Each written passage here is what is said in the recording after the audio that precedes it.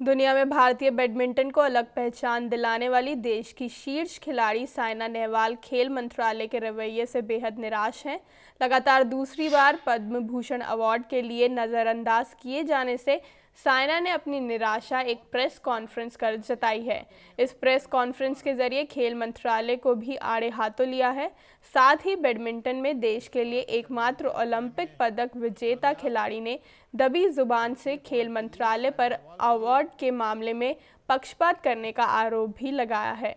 साइना को उम्मीद थी कि पिछली बार नियम का हवाला देकर खेल मंत्रालय द्वारा अवार्ड देने से इनकार किए जाने के बाद उन्हें इस बार पद्म भूषण मिल जाएगा लेकिन जब उन्हें पता चला कि उनका नाम प्रस्तावित नहीं किया गया तो वह निराश हो गई। और ये फ्लिक सर्विस थी फोर से नेट में फाइनली स्पोर्ट्स मिनिस्ट्री के ऊपर है, जब हम अच्छा करते हैं तो जो सभी प्लेयर जो अच्छा करते हैं, उनको रिकोगनाइज करना, उनको अवार्ड देना फाइनली स्पोर्ट्स मिनिस्ट्री के ऊपर है।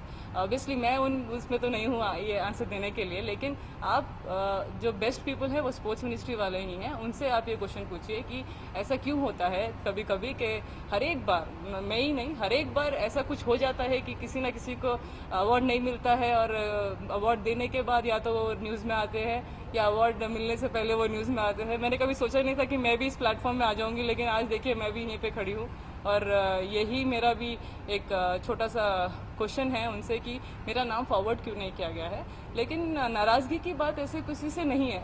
नाराज़गी मैं तो अपने अपने लिए खेलती हूँ, अपनी कंट्री के लिए खेलती हूँ। और जितना हो सकेगा और I will try my best to win the tournaments लेकिन ये जस्ट ऐसी बात, अगर जब obviously as a player when you focused और ऐसा जब तुम्हारे दिमाग में आती है ऐसी बातें when you get to know from someone it's little disturbing खबरों की दुनिया में आइए। हमारे साथ कहीं भी और कभी भी जुड़िए। हम मिलेंगे फेसबुक पर। हम दिखेंगे यूट्यूब पर। हमें फॉलो कीजिए ट्विटर पर।